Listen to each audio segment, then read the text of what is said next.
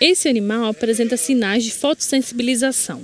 Então, animais que apresentam aqui crostas, né, na região da orelha, que a gente consegue observar, né, a face e a, o corpo dela todo cheio de áreas de alopécia. Ela também tinha ali algumas lesões ali por ectoparasitas e a gente consegue observar que esse animal ele tem regiões sem pelo, regiões de ferida que pode se abrir e predispor à miíase.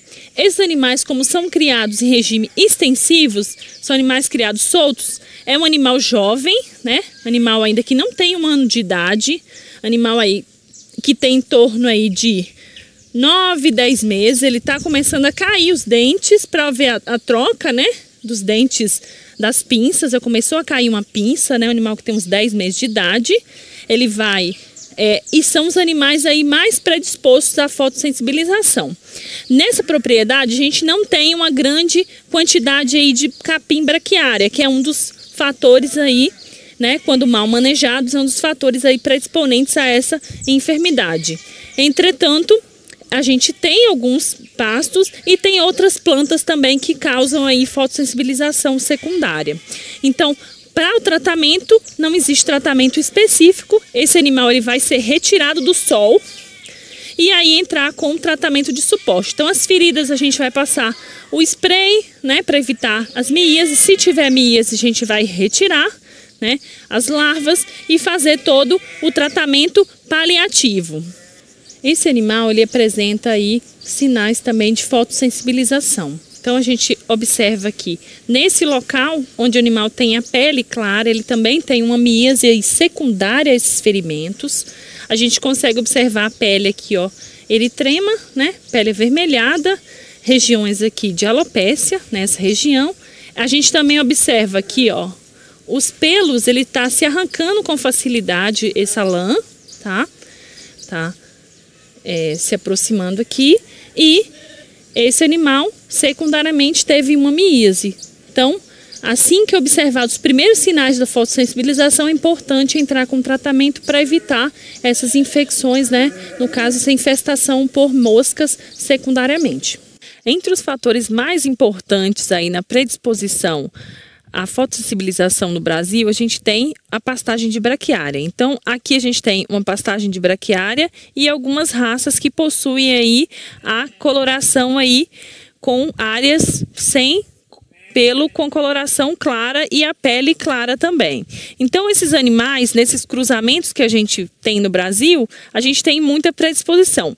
A braquiária, como a gente tem aqui, né, alguns capins com esse excesso aqui de palhada, então essa palhada, ela facilita aqui a disseminação desse fungo. Então temos aqui a época chuvosa, né? A época do verão, e essa, esse excesso aqui de palhada. O animal ele só vai comer a parte aqui mais importante, né? A parte menos fibrosa. Entretanto, né? Quando ele ingere, ele acaba ingerindo, né? O fungo Phytomyces chartarum ou mesmo as saponinas que contém aqui na braquiária. E aí, quando ele está exposto ao sol, vai liberar essas substâncias né, fotodinâmicas que vão se acumular na pele do animal. Como a gente já viu, né, tem diversas causas que podem causar, né, causas que podem levar à fotossensibilização e a gente tem que tentar controlar. Uma das formas de controle é manter o pasto, né, sempre com o mínimo de palhada possível.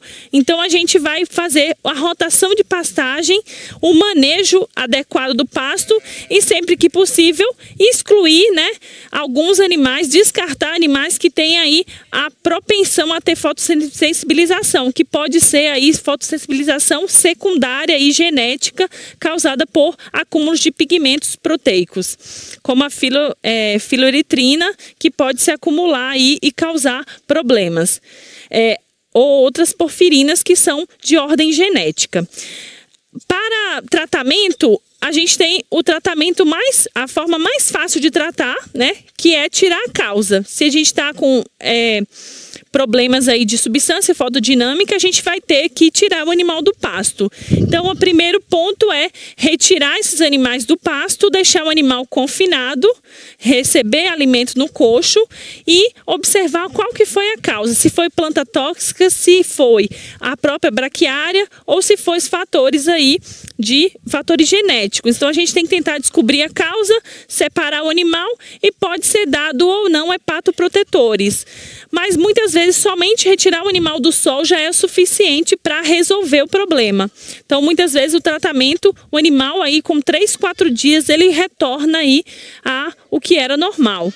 E normalmente a gente vai selecionando os animais que apresentaram a fotossensibilização para tentar ir descartar do rebanho e controlar a enfermidade. Ei, médico veterinário! Esse é apenas um conteúdo de alguma das aulas que você encontra dentro do aplicativo VET Profissional. Baixe agora e se surpreenda com muito mais.